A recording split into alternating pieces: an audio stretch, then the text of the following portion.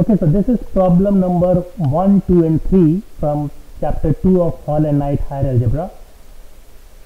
So we will make one video for all these three problems because these problems are very small problems. So let us look at the first problem. The first problem is find the fourth proportional to 3, 5 and 27. So what is fourth proportional? Suppose we have four quantities A, B, C and D and the relationship between these quantities is A is to B is equal to C is to D. Okay. Then A is called the first proportional, B is the second proportional, C is the third proportional and D is the fourth proportional. Then B is fourth proportional. Okay. A and B are called extremes. B and C are called means. Okay.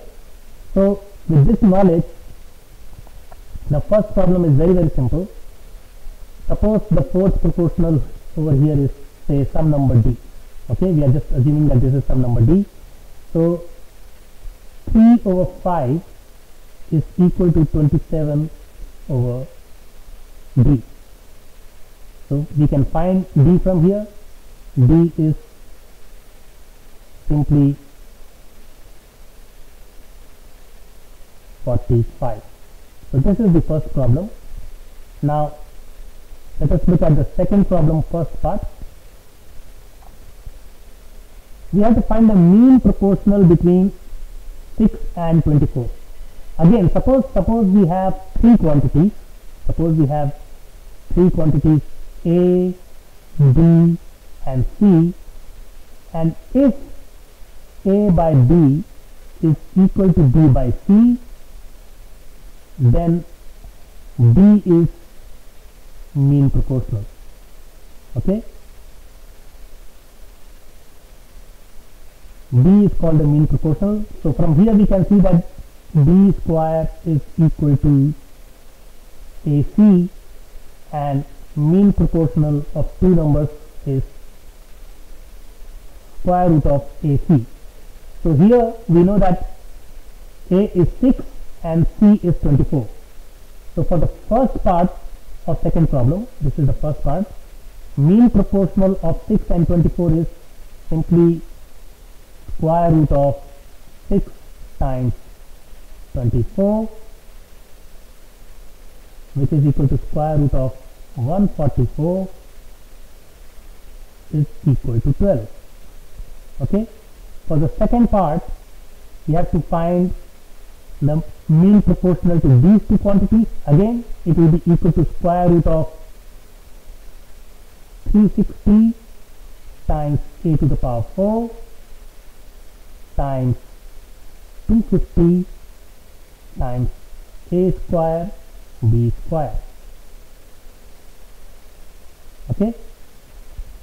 Now square root of 36 is 6 square root of 25 is 5 then we have 1 0 here and 1 0 here which is equivalent to square root of 100 so this is 10 then we have a to the power 4 and a to the power 2 so it is a to the power 6 square root of a to the power 3 and we have b square. So square root of b square is b. So this is equal to 300 a cube b. Okay? Now let us look at the third question we have to find the third proportional to these two numbers. So suppose again again suppose we have three quantities a b and c and a is to b is equal to b is to c then C is third proportional. Okay C is the third proportional. B is the mean proportional and C is third proportional. So from here what we get is C is equal to B square by A. In our case X over Y is equal to B and this is equal to A. So what is the third proportional to these two quantities? It is simply x square by y square divided by divided by we can uh, add these quantities by taking the LCM. So LCM of y and x is xy and in the numerator we have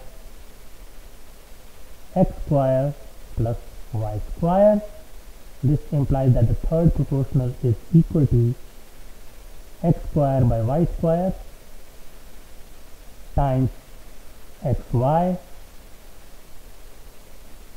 over x square plus y square and this y cancels one of the power here so finally you get x cube over y times x square plus y square. And we are done